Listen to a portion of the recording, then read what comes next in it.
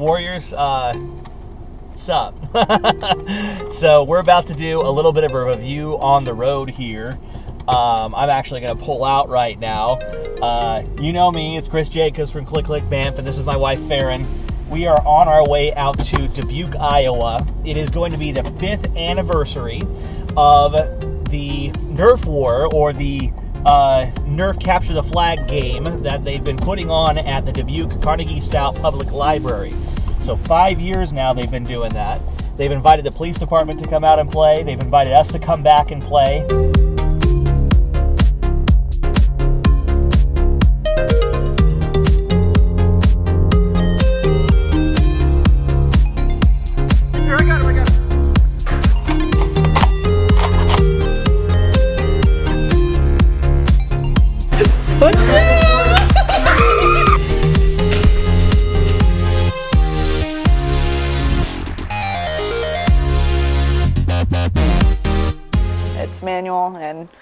I prefer manual to automatic because I don't have to worry about batteries. Why don't you uh, run them through a little bit of how that operates? Okay, so it has uh, pump action,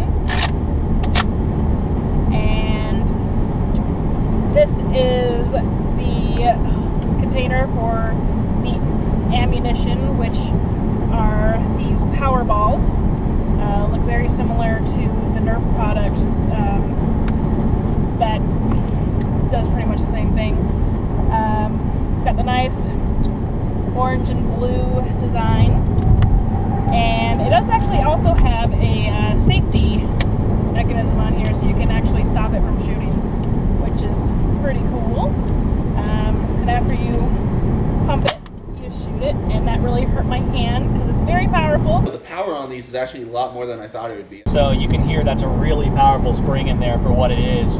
On the box, it claims up to 100 feet uh, per second. And from the testing I've done with the chronographs, I'll put up a little link in the cards, you know, in the, the YouTube video, so you can take a look at the chronographs that we use. Um, I did those off camera, but I used the Ace Tech chronograph.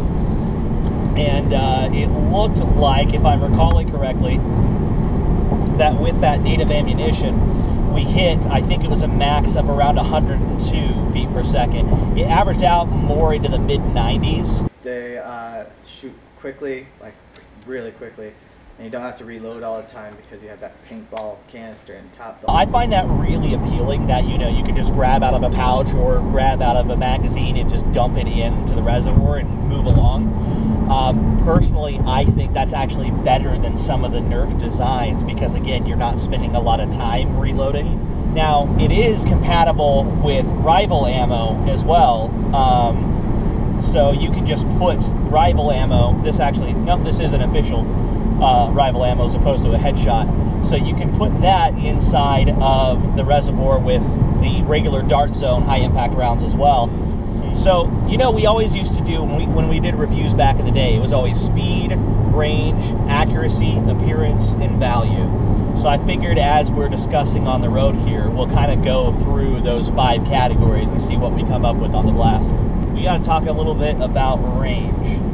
Uh, I haven't actually done a full distance test on this blaster yet.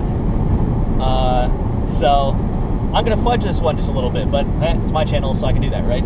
So here's the deal. The range is pretty good on this blaster. It feels like it keeps up with all the rival range blasters. So one point we were in the hallway at one of our locations we were talking about, and it's a really long hallway. This building probably went the reach of the building. I mean, you could argue that this building is probably what 120, 150 feet from one end to the other, at least. So it could reach the hallway. Not, you know, perfect. I mean, you hit terminal velocity and start dropping a little bit, but you could arc the shots. And I feel like it can do a pretty good job reaching down the hallway. Um, I, I, wasn't wanting for range like you were on some of the old N-Strike blasters or even some of the current N-Strike blasters if you don't mod them.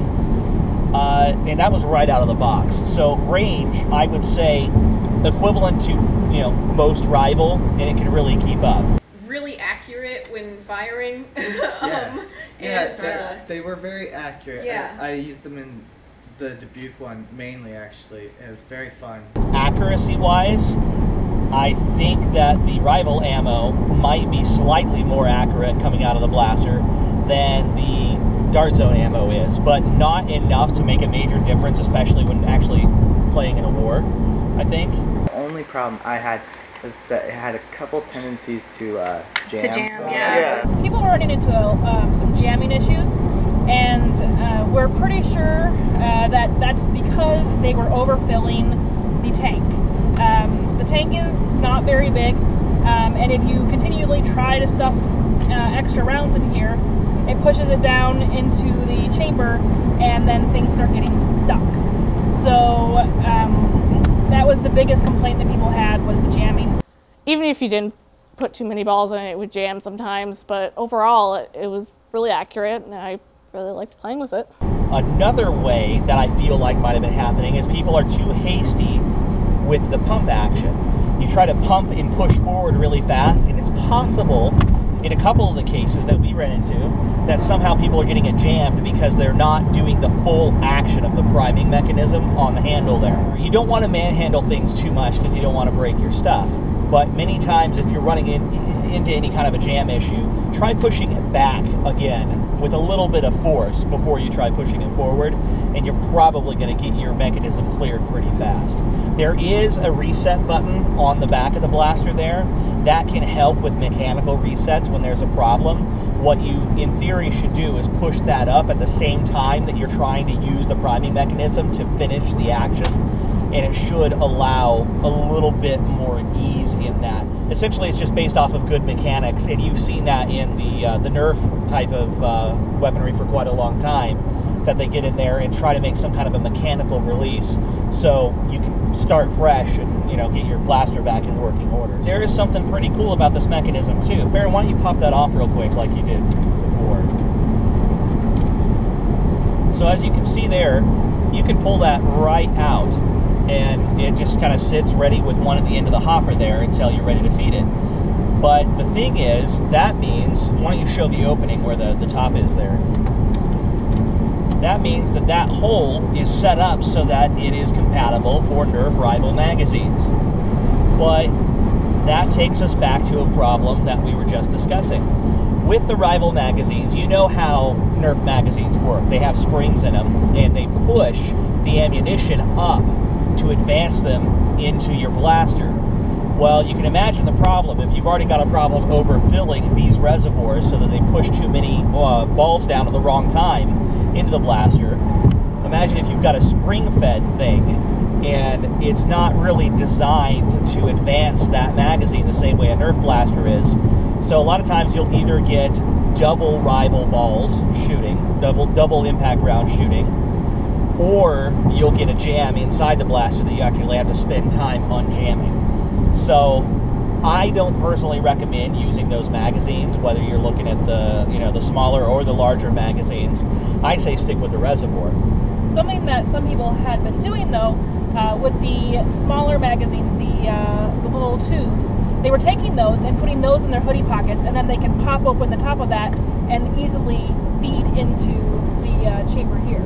So it's a quick way to make sure that the ammunition rounds aren't going all over the place, um, and that they're not you're not fumbling with your hand. You can just pop and pour, which some people seem to really like. Seems like a pretty smart tactic on the field.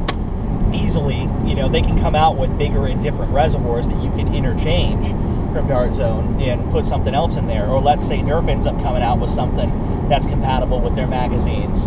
That thing should also work in here too, but you might not want to do that if it's again spring fed because it could be an issue. Personally, I thought that they were absolutely amazing. Like they they the way that they look is super cool. Now we get to the appearance category. This is where we talk about the looks and the comfort and usability of the blaster kind of all in one. So Farron, what would, what would you say about you know the looks of this blaster? You've been around these for years now, and you've used several different kinds in all of our different wars. What would you say about this blaster? I'd say that it looks functional.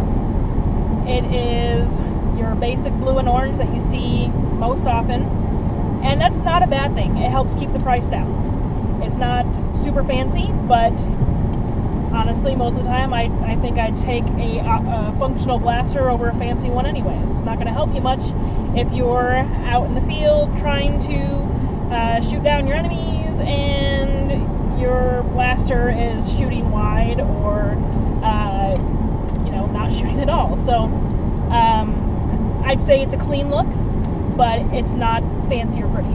The way it's held is it gives you more of that tactical kind of feel to it. And it gives you more like Yeah. stability feeling. So, do you find it comfortable enough to use? Or? For me, yeah, this is a, actually a perfect grip for me. Um, I don't have super large hands, so I don't know how uh, how it feels for you. But I mean, this is perfect for my hand size. I mean, if you look, it fits my fist perfectly. Um, again, fits my fist perfectly back here. So, um, yeah, for me, it's great. Yeah, I would, I would go back to something that Farron said there. It's it's a simple blaster, which is I think a big deal. I, I actually feel the same way. I feel like it's built for me. I feel like the grips are just about perfect, which is interesting because my hands are definitely bigger than hers. We've had differences of opinion before on blasters because I think it fits great, she thinks it's too bulky, or she thinks it's perfect, I think it's too dainty or something. So the fact that both of us can walk up to this blaster and say, you know what, it's a comfortable grip for me, I'm good to go. That's kind of a big deal. This style of tank is more of when you're aiming, you can just use the tank, and if you can see the line that they have for where it seals together, you can just use that as your iron sight.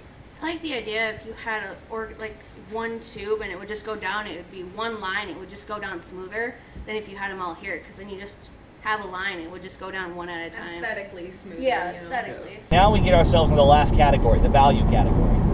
Did I tell you how much this blaster costs? No. What What would you guess? Um, let's see, based off of similar products, I'd say somewhere between 18 to 22 bucks. So you think that'd be a, a, fair price for that then? Yeah. Okay, right on. So yeah, MSRP is seventeen ninety nine for this blaster. Yeah, except for Price is Right, I would be out. I went over. How dare you? Um, But that's the thing is, seventeen ninety nine for this thing is pretty darn good.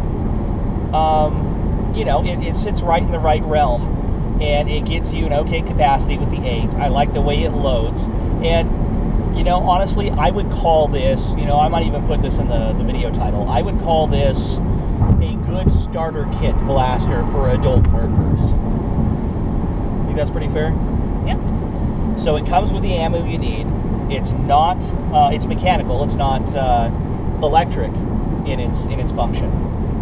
So you're not looking at batteries or anything like that. You're not pumping up a bunch of times to use it.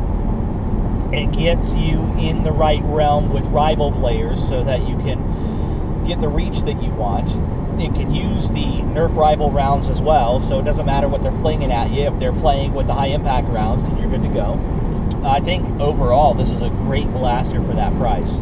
I mean, it's not going to be like a 10 out of 10 because, well, as Farron kind of proved out, an educated Nerf buyer is kind of expecting a price around that for its function. But what you get with Dart Zone is it's kind of considered maybe an off-brand. You know, if if you're calling, you know, and that's not necessarily a bad thing. You've got leading brand, you've got other brands would be off brands, right? So leading brand is arguably Nerf. They've got a lot of share, but you've got this other brand, Dart Zone, which so far reliability has been very high, in my opinion. Performance has been very high. Uh, I, I'd say that you know for a leading or an off-brand blaster, this is one that I would consider a high value. The ball one's good. I do state that. Um, I think I'm just still waiting to find the perfect type for me that's going to be better for my handle. Um, I'm getting closer. All right, Warriors. So we've covered a lot of stuff, and we're just about to get into Dubuque, and I'll need to figure out some directions here. So, you know, we do have a lot coming up. Like I said, we've got the uh, probably the ads for the reality series coming up. We've got the reality series itself coming up. Plenty more stuff on the blog at clickclickbamf.com. And uh, yeah, just generally all a lot of fun and good times coming up. So until then, Warriors, game on.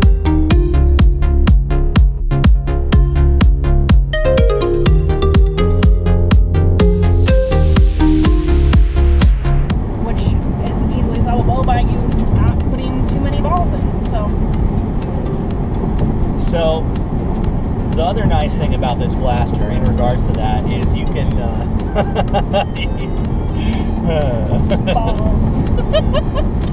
because we're mature we're adults Aaron, I want you to try something for me real quick. Uh-huh. But it's really a stupid idea so we're not going to do that right now. To be honest I don't think it makes as much of a difference if you're not at a terminal range anyway. Ow. why would you do this? Did I tell you how much this blaster costs?